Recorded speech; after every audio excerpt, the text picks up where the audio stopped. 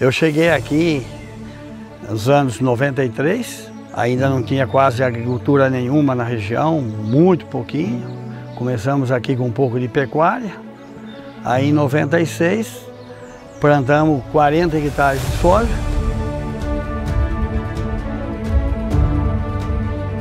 Nos anos 2005, 2006, a gente já começou a fazer um pouco de safrinha. Começamos aí, plantando um pouco de, de milho, que não dá para fazer muita coisa, colhia na época aí 80, 75 sacos. Aí foi quando a gente começou a, a conhecer um, uns materiais novos, um material melhor. E aí assim a gente foi plantando outros materiais, como o 450, que vem hoje obtendo um bom resultado. Hoje a gente tem atingido o dobro da produtividade daquela época. E com o material 450, esse ano mesmo a gente já fechou aqui um talhão que terminou de colher agora, com 160 sacos, ponto 8. Um resultado muito bom, muito positivo. Safrinha estamos plantando 1.800 hectares, 75% da participação da Forcides. Tudo isso vem acontecendo né, com esse crescimento aqui dentro da fazenda, é, com os materiais da Forcide, é, devido ao Heraldo, né, que nos assiste nós aqui e tem dado um suporte muito bom em tudo que precisa, está sempre presente, sempre acompanhando o campo e isso aí tem fortalecido muito a nossa parceria.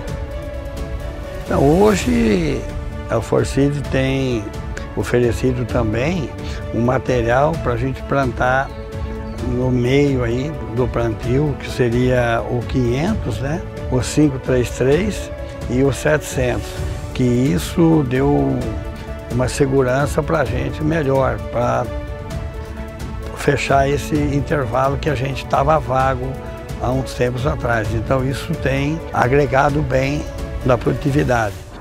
Aqui estamos colhendo aqui o material da Forcid, o 700.